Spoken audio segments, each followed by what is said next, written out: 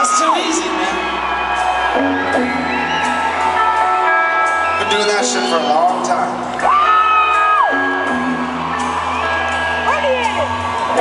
You know how I like to do it now?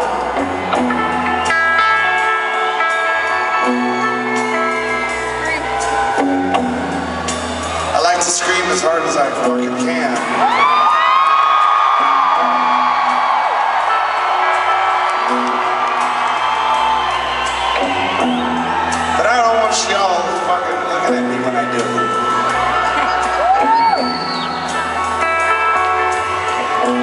So nowadays,